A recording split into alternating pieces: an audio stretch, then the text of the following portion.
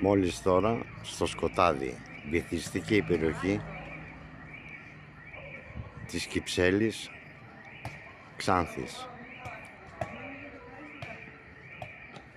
Λοιπόν, πόσα πάτε κάτι, αφού είναι σαν να του βγάζει και του βγάζει την πρέλη, δεν πάτε.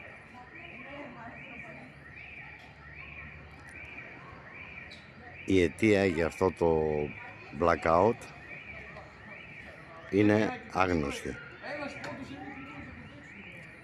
Ένας πρώτος είναι Βρισκόμαστε έξω από το ένατο Δημοτικό Σχολείο.